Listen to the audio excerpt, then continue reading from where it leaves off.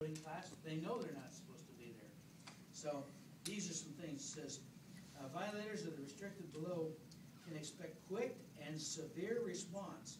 Do not approach within one hundred yards, and are slow to a minimum speed of five hundred yards of any US naval vessel. And Coast Guard, of course, says, you know, if you're using radio, channel sixteen as a standard hailing uh, thing, get, get a hold of Coast Guard and let them know of anything